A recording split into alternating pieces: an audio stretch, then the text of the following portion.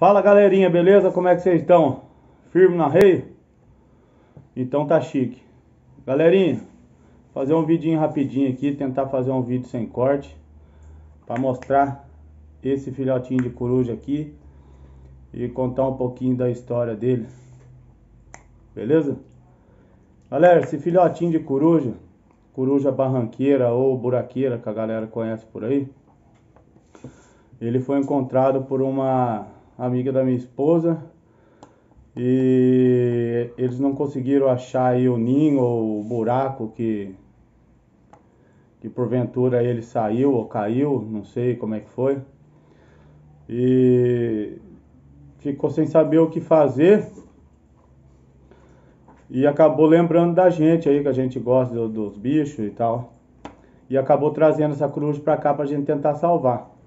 Na verdade, hoje é dia 6, 6 do 11. E essa coruja veio pra cá sábado passado. Hoje também é sábado, dia 6, né?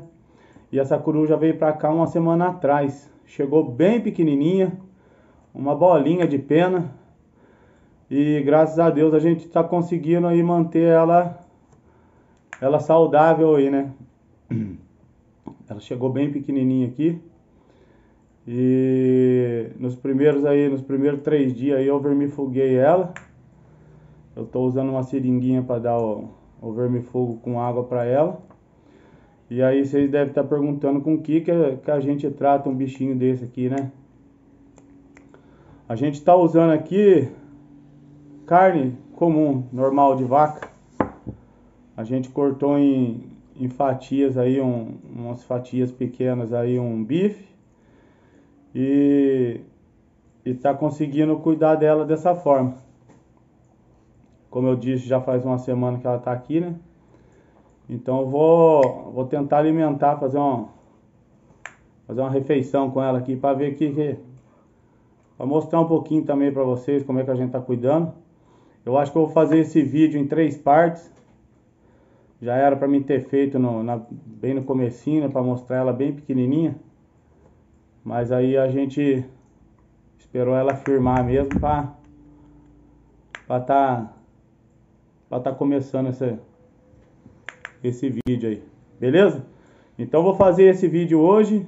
Daqui uma semana eu vou fazer um outro vídeo para mostrar a evolução do crescimento dela. Cresceu bastante, mas vai crescer muito mais se Deus quiser. E no terceiro vídeo a gente vai fazer a soltura dela. Né? A coruja é um, é um animal silvestre aí, não pode ter em cativeiro. E é isso aí. Vamos lá, vamos alimentar ela.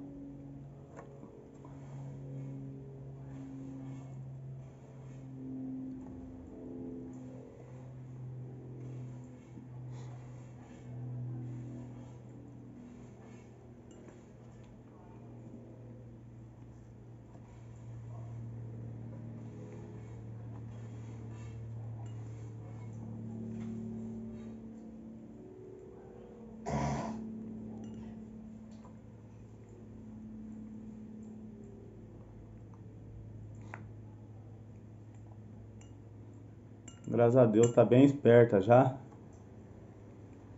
Ela tá comendo super bem, chegou meio fraquinha aqui.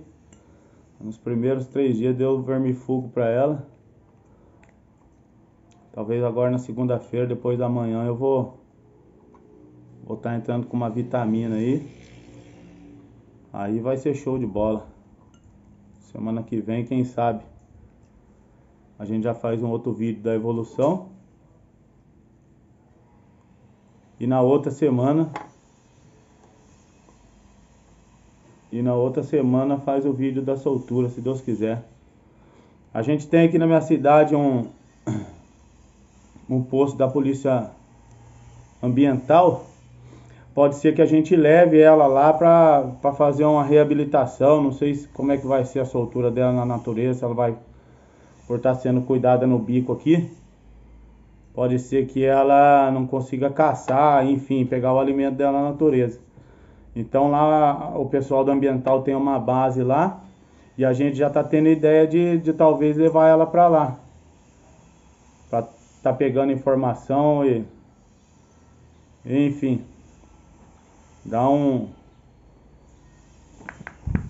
dar um desfecho legal para essa corujinha aqui, para ela, se Deus quiser, viver normalmente na natureza.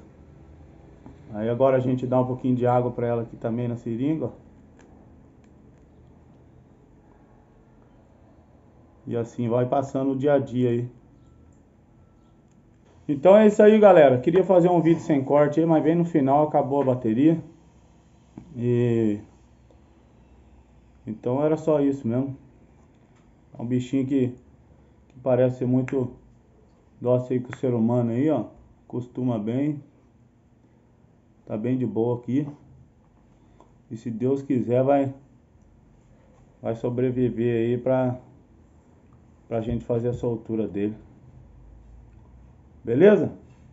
Forte abraço, Fernando Maia, mais uma vez com vocês aí. Galera que não se inscreveu aí, ó, se inscreve lá, dá um like no canal, tá ajudando a gente deixar o canal cada vez melhor aí. E é isso aí. Até a próxima. Abraço.